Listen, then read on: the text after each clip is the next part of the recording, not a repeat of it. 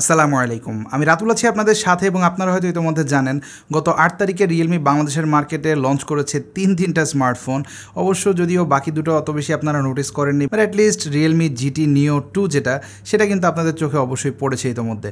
যদিও সেটা আমাদের স্টুডিওতে এখনও পর্যন্ত এসে পৌঁছায়নি, তবে আমাদের স্টুডিওতে রয়েছে একেবারে বাজেট রেঞ্জে লঞ্চ করা যে ফোনটি অর্থাৎ নার্জো ফিফটি আই তো এই ডিভাইসটা রিয়েলমি দশ হাজার নশো নব্বই টাকায় বা এগারো হাজার টাকায় অফিসিয়ালি বাংলাদেশের মার্কেটে রিলিজ করেছে। এবং আপনারা যদি দারাজের ইলেভেন ইলেভেন ফ্ল্যাশ সেলে কিনেন, সেক্ষেত্রে আরও এক হাজার টাকা আপনারা কমে কিনতে পারবেন এই ডিভাইসটা তো বেসিক্যালি এই নার্জো ফিফটি আই ডিভাইসটা অ্যাকচুয়ালি এগারো হাজার টাকা বিবেচনায় যদি আমরা জাজ করি, সেক্ষেত্রে কতটা বেটার ভ্যালু অফার করছে আপনাদেরকে বা এই বাজেট রেঞ্জের ইউজাররা আসলে কী ধরনের এক্সপিরিয়েন্স পাবে এই ফোনটা থেকে, সেটা নিয়ে আরেকটু বিস্তারিত কথা বলব আজকের ভিডিওতে। তবে ভিডিওতে যাবার আগে এখনও যারা আপনারা চ্যানেলটা সাবস্ক্রাইব করেননি, তারা অবশ্যই সাবস্ক্রাইব করে পাশে থাকা বেল আইকনটি প্রেস করে রাখবেন। আসছি ইন্ট্রোর পর।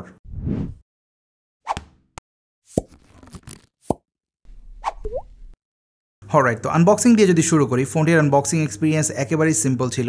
বক্সে আপনারা কিছু পেপার ওয়ার্কসের সাথে একটি সিম ইজেকশন টুল পাচ্ছেন। দেন অফকোর্স আপনারা পাচ্ছেন নার্জো ফিফটি আই ডিভাইসটা থাকছে টেন ওয়াটের একটি চার্জার এবং আনফর্চুনেটলি একটি মাইক্রো ইউএসবি কেবল তবে এই নার্জো ফিফটি আই ডিভাইসটার যে ব্যাপারটা আমার কাছে সব থেকে বেশি ভালো লেগেছে তা হলো এর ডিজাইন কারণ গত কয়েক বছরে কিন্তু আমরা রিয়েলমির একেবারে সেম ডিজাইন ল্যাঙ্গুয়েজ দেখে আসছিলাম প্রত্যেকটা বাজেট রেঞ্জের ফোনে বাট এবার তারা একেবারে বাজেট রেঞ্জেও কিন্তু মোটামুটি ডিজাইনে অ্যাটলিস্ট ইনভেস্ট করছে। এবং এই ডিভাইসটা তার একটা ভালো উদাহরণ হতে পারে। যেমনটা আপনারা দেখতে পাচ্ছেন, যখন আমি রিভিউ পারপাসে ইউজ করছিলাম ফোনটা আমার হাতে দেখে অনেকেই কিন্তু এটার দাম আরেকটু বেশি এক্সপেক্ট করেছে। কারণ এর যে রেয়ারের টু টোন ফিনিশ সেটা কিন্তু খুবই চমৎকার একটা হ্যান্ড ফিল দেয়। একই সাথে এদের রয়েছে ম্যাট ফিনিশ সো আপনার ফিঙ্গারপ্রিন্ট কিন্তু ফোনটাতে খুব একটা পড়বে না। যদিও এই ডিজাইন ল্যাঙ্গুয়েজ ছাড়া বাকি দিকগুলোতে ফোনটি একেবারেই অ্যাভারেজ পারফর্মিং ছিল আমার মতে। লাইক প্রথমে যদি আমরা কয়েকটা নেগেটিভ সাইড পয়েন্ট আউট করি ফোনটার প্রথমত এতে রয়েছে মাইক্রো ইউএসবি পোর্ট যেটা এই বাজেট রেঞ্জে কিন্তু আমরা টাইপ সি দেখেছি রিসেন্টলি অন্যান্য বেশ কিছু ব্র্যান্ডের কাছ থেকে। সেকেন্ডলি এতে আপনারা কোনো রকম ফিজিক্যাল ফিঙ্গারপ্রিন্ট সেন্সর পাচ্ছেন না। থার্ড যে ব্যাপারটা আমার কাছে খুব একটা ভালো লাগেনি, তা হলো এর স্পিকার প্লেসমেন্ট যেমনটা দেখতে পাচ্ছেন, এটি রয়েছে একেবারে রেয়ারে সো আপনারা যখন মিডিয়া কনজিউম করবেন, তখন এটা ব্যাক ফায়ারিং এবং যখন আপনি এটা রেখে দিচ্ছেন ডেস্কের উপর, তখনও কিন্তু এটা অনেকটাই মাফলড শোনাবে। স্পেশালি আপনি যদি বিছানার উপর রাখেন ফোনটা এবং ফোন আসে, অনেক ক্ষেত্রে হয়তো আপনি সাউন্ডটা খুব একটা শুনবেন না unless you are putting your phone upside down এমনিতে সাউন্ড খুব একটা খারাপ ছিল না, এর স্পিকারে মোটামুটি ভালো ডিস্টর্শন ফ্রি সাউন্ড আমি পেয়েছি। এছাড়া বাকি আয়ো পোর্টস নিয়ে কোনো রকম কমপ্লেন থাকছে না সব কিছু ঠিকঠাক জায়গাতে রয়েছে লাইক এতে থাকা যে পাওয়ার বাটন সেটি কিন্তু খুবই কনভিনিয়েন্ট পজিশনে ছিল। এর উপরে ভলিউম রকারটাও খুবই ট্যাকটাইল ফিডব্যাক দিয়েছে। একই সাথে আপনারা যে সিম ট্রে পাচ্ছেন সেটি কিন্তু ট্রিপল কার্ড স্লটের অর্থাৎ ডুয়েল ন্যানো সিমের পাশাপাশি ডেডিকেটেড মাইক্রো এসডি কার্ড স্লটও রয়েছে। সো আপনাকে কোনো রকম কম্প্রোমাইজ করতে হচ্ছে না এখানে। বটমে three point five M M headphone jack পোর্টও পাচ্ছেন।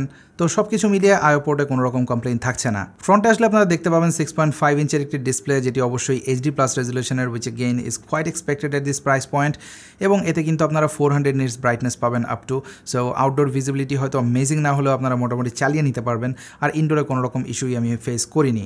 এতে ভিউইং অ্যাঙ্গেলও মোটামুটি ভালো থাকে, একেবারে এক্সট্রিম অ্যাঙ্গেলে কিছুটা নেগেটিভিটি লক্ষ্য করবেন, আর টাচ লেটেন্সি অ্যান্ড স্টাফ খুবই ভালো ছিল সো ওভারঅল আপনারা মিডিয়া কনজামশনের জন্য যারা এই ফোনটা ব্যবহার করতে চান, এর সিক্স পয়েন্ট ফাইভ ইঞ্চের ডিসপ্লে ডেফিনেটলি আপনাকে একটা বেটার এক্সপিরিয়েন্স প্রোভাইড করবে। এবং ক্যামেরা সেকশনে যদি চলে আসি, এখানে অনেক দিন পর আমি সত্যি বলতে কোনো ফোনে দেখতে পাচ্ছি সিঙ্গেল ক্যামেরা এবং এই ব্যাপারটা নিয়ে আমি মোটেও স্কেপটিক্যাল না। বিকজ আমরা এই বাজেট রেঞ্জের ফোনগুলোতে সাধারণত যে মাল্টিপল ক্যামেরাস দেখে থাকি, সেগুলোর বেশিরভাগই হয় ডেপ সেন্সর না হলে ম্যাক্রো সেন্সর যেগুলো খুব একটা ইউজেবল সেন্সার্স না। সো এটা না থাকা আর থাকা সমান কথা। সো এই ফোনটিতে রেয়ারে সিঙ্গেল ক্যামেরা থাকা নিয়ে আমি একেবারে কোনো রকম বদার্ড না। এতে এইট মেগাপিক্সেলের যে সেন্সরটা আপনারা দেখতে পাচ্ছেন, এটি ডে লাইটে মোটামুটি ভালো রেজাল্ট দিয়েছে আমি বলব। ডিটেল বেশ ভালো ছিল কনসিডারিং এইট মেগাপিক্সেল সেন্সর একই সাথে এতে সফটওয়্যার এইচডিআরও আপনারা পাচ্ছেন, যেটা ডে লাইটে বেশ ভালোভাবেই কাজ করে। যেমনটা আপনারা এই ডে লাইট শটগুলো দেখলে বুঝতে পারবেন। আর কালার রিপ্রোডাকশন খুব বেশি ইমপ্রেসিভ না হলেও ডাল লাগেনি আমার কাছে অ্যাটলিস্ট আর পোর্ট্রেট মোডের সাবজেক্ট সেপারেশন এই বাজ রেঞ্জ বিবেচনায় মোটামুটি ভালো ছিল। তবে লো লাইটে আসলে ডেফিনেটলি আপনারা অনেক বেশি গ্রেন দেখতে পাবেন, যেহেতু অ্যাপারচার অত বেশি ওয়াইড না। স্পেশালি শ্যাডো এরিয়াতে নয়েজটা একটু ভিজিবল বাট এই বাজেট রেঞ্জে সত্যি বলতে আমি এরকমই এক্সপেক্ট করছিলাম। এবং মোটামুটি লো লাইট কন্ডিশনেও কিন্তু ফোনটা আপনাকে মোটামুটি ভালো রেজাল্ট ডেলিভার করবে। এবং ফ্রন্টের যে ফাইভ মেগাপিক্সেলের সেলফি ক্যামেরা রয়েছে, এটা সত্যি বলতে রেয়ার ক্যামেরা থেকে আমাকে কিছুটা বেটার রিপ্রোডাকশন দিয়েছে কালারে overall skin টোনে specifically five megapixel selfie camera definitely আপনাকে মোটামুটি স্যাটিসফ্যাক্টরি রেজাল্ট দেবে। তবে ফোনটির যে ব্যাপারটা অত বেশি স্যাটিসফ্যাক্টরি রেজাল্ট হয়তো আপনাকে দেবে না বা ওভারঅল ইউজার এক্সপিরিয়েন্সে আপনি পাবেন না, সেটা হলো এতে থাকা প্রসেসিং পাওয়ার ফোনটিকে পাওয়ার করছে ইউনিসকের একটি প্রসেসর যেটি অক্টা কোরের এবং এর যে ক্লক স্পিড সেটি up to one point six gigahertz এতটুকু ইনফরমেশনই আমি অনলাইনে পেয়েছি এই প্রসেসর সম্পর্কে। অনেক বেশি সার্চ করেও এর থেকে বেশি ইনফরমেশন আমি গ্যাদার করতে পারিনি। তো পারফরমেন্সের কথা যদি বলি, আপনারা গিক বেঞ্চের এই রেজাল্ট দেখে মোটামুটি একটা আন্দাজ করতে পারবেন যে ফোনটি আপনাকে কেমন পারফরমেন্স দেবে। যদিও এতে থাকা ফোর গিগাবাইট র্যাম এবং সিক্সটি ফোর গিগাবাইটের স্টোরেজ আপনাকে কিন্তু ওভারঅল পারফরমেন্স একটা বুস্ট দেবে। কারণ সাধারণত সাব টেন থাউজেন্ড টাকায় কিন্তু আমরা ফোর গিগাবাইট র্যাম খুব একটা দেখি না ফোনগুলোতে সো এদিক থেকে ফোনটি অবশ্যই অ্যাপ্রিসিয়েশন পাবে। বাট ইউনিসকের যে প্রসেসর এটা অত বেশি পাওয়ারফুল না। সো আপনি মোটামুটি কাজ চালিয়ে নিতে পারবেন ডে টু ডে লাইফে বাট একটু স্লোলি এবং ইউনিসক ব্যবহার করার পেছনে প্রধান যে কারণ তা হলো, আপনারা হয়তো জানেন গ্লোবাল মার্কেটে কিন্তু এখন চিপ শর্টেজ রয়েছে, যার কারণে আমরা কিন্তু এন্টায়ার চিপসের ইন্ডাস্ট্রিতে দেখতে পাচ্ছি, মোটামুটি সব কিছুর প্রাইস একটু হাই তো সম্ভবত এই কারণে ইউনিসক ব্যবহার করার সিদ্ধান্ত নিয়েছে রিয়েলমি এবং এই প্রসেসর দিয়ে আপনারা ডে টু ডে লাইফে কাজ মোটামুটি চালিয়ে নিতে পারবেন। যেমনটা দেখতে পাচ্ছেন সাবওয়ে সার্ফার টাইপের টু ডি গেম কিন্তু আপনারা চালিয়ে নিতে পারবেন বাট হেভি গেমিংয়ের জন্য এই ফোনটা একেবারেই না। আর হ্যাঁ এতে যে ইউআই রয়েছে, সেটা কিন্তু একেবারে স্টকে লাইক যেমনটা আপনারা দেখতে পাচ্ছেন, এবং এটার একটা কারণ হলো ফোনটি কিন্তু আউট অফ দ্য বক্স আপনাকে অ্যান্ড্রয়েড ইলেভেন প্রোভাইড করছে বাট এটা অ্যান্ড্রয়েড গো এডিশন অর্থাৎ কিছুটা লাইট ওয়েট ভার্সন যে অ্যান্ড্রয়েড রয়েছে, সেটা আপনারা এই ফোনটিতে পাচ্ছেন।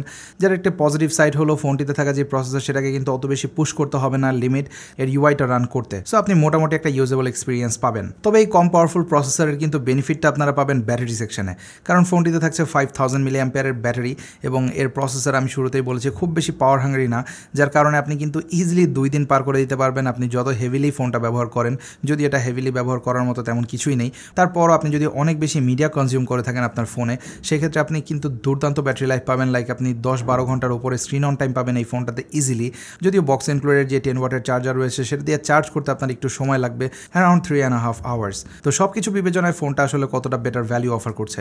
হলে আমি যদি এগারো হাজার টাকা বিবেচনা করি, তাহলে ফোনটা একেবারে মিডল গ্রাউন্ডে রয়েছে, অর্থাৎ অ্যাভারেজ পারফর্মিং ছিল। যদিও আপনি যদি খুব বেশি ডিজাইন ফ্রিক হয়ে থাকেন, সেক্ষেত্রে অবশ্যই এর রেয়ারের ডিজাইন আপনার পছন্দ হবে। আর আপনি যদি দারাজের ফ্ল্যাশ সেল থেকে কিনতে পারেন ফোনটা তাহলে আমি বলব বেটার ভ্যালিউ তো সব কিছু মিলিয়ে রিকমেন্ড করার জন্য মেজর কোনো ফ্লস বা ডিল ব্রেকিং কোনো ইস্যুস থাকছে না এই ফোনটাতে তারপরও কিনবেন কিনা সেই ডিসিশন অ্যাজ অলওয়েজ আপনাদের।